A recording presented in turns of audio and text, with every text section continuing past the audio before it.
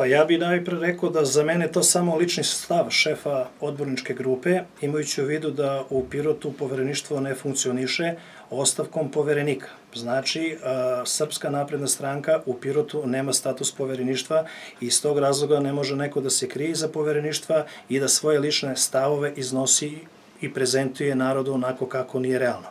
Što se tiče navedenih optužbi da je nešto zataškano i da neko nad nekim vrši mobbing, želim da kažem da sam od grupe lekara anesteziologa dobio prijavu 13.12. u 8 sati i 30 minuta.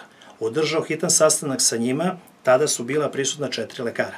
Nakon toga formirana je komisija koja je ispitala okolnosti navedenog slučaja na koji se oni pozivaju, što opet mogu da kažem, što je bolnici Pirot ima 700 radnika, lične probleme međusobno ljudi rešavaju na različite načine. Nije na meni da o svemu sudim i da ja budem dežurni za sve ono što se dešava. Komisija je održana, održala sastanak 13. decembra, uzela izjave od aktera ekscesne situacije i donela svoje zaključke. Pročitaću zaključke koje je komisija sastavila.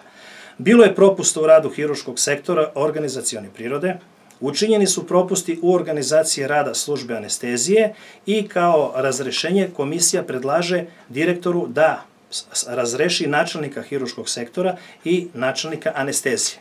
Nakon mišljenja komisije, ja sam kao direktor ispoštovao to, donao sam 14. 12. već, znači 13. mi je prijavljeno, 13. je formirana komisija, 14. su razrešeni funkcije doktori koji su krivi za lošu organizaciju rada.